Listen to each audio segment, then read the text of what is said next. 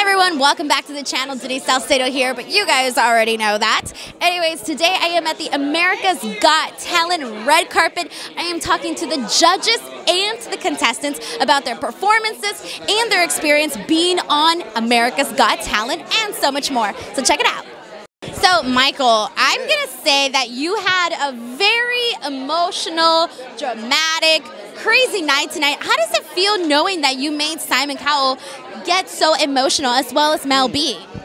Well, um, you know, this whole night, every bit of it, and honestly, it's been wild ever since I stepped off that stage, and I really haven't had time to process everything. You know, it's it was so uh, huge and it was so amazing, but to see Simon tear up like that, I mean, that means a lot. That means a lot. That means, you know, I, I feel like he gets he gets it, and I really helps me. I hope it helps us all to really see this guy's heart.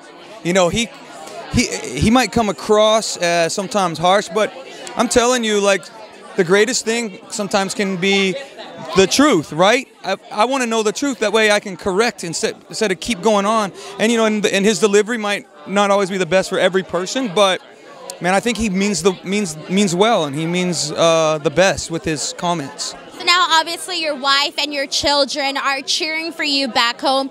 How do you kind of, you know, honor them each and every single time that you're there? And how are you guys keeping in contact? And how's how are basically what do they think of the whole thing? Okay, well, after I got off the stage, I was completely surprised because they came running up and jumped on my my shoulders and gave me the biggest bear hug.